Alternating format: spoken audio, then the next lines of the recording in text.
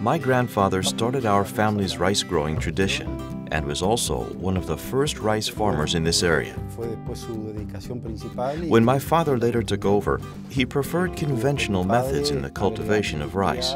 Now that I'm continuing the family tradition, I have introduced a very important innovation growing rice organically. Decía ya de los 10 años el entusiasmo. By the time I was 10 years old, I was already fascinated by the equipment my father used to harvest the rice. I actually started driving the farm machinery at that age. Because I grew up in such close and intimate contact with nature, I will always be fond of being out in the fields. My respect for nature and devotion to the land are reasons why we use crop rotation to build nutrients in the soil instead of fertilizer. We use no chemical or synthetic fertilizers, no animal-based fertilizer. Lo que hacemos es We use three different plant varieties in our crop rotations. First, of course, is rice.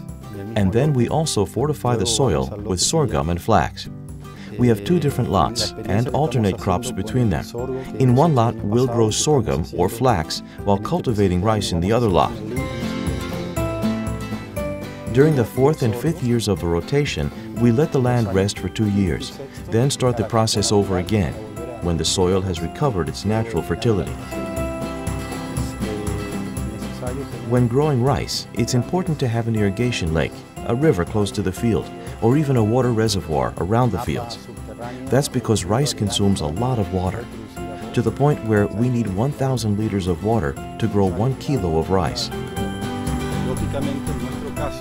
Our source is rainwater that we store in our irrigation lake. By using pure water from precipitation, we avoid the risk of introducing residue into the fields, which can be carried by rivers or other kinds of irrigation systems. To me, the number one goal of my life as a farmer is to bring good food to the people, healthy rice grown safely. In general, people often don't think enough about what they're consuming, the food they're putting in their bodies, but we are always aware of this responsibility. That is why we grow veganic rice without any fertilizers, chemicals, or other artificial inputs. Our goal is to grow a special kind of rice, special for everyone.